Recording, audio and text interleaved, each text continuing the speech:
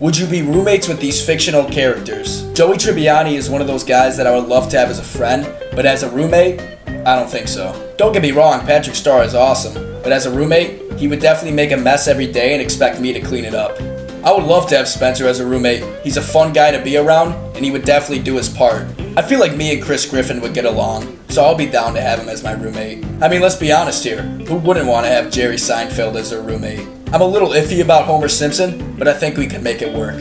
In my opinion, I feel like Carlton Banks would be the best roommate ever. I don't even need to explain myself. I would never want to be roommates with Eric Cartman.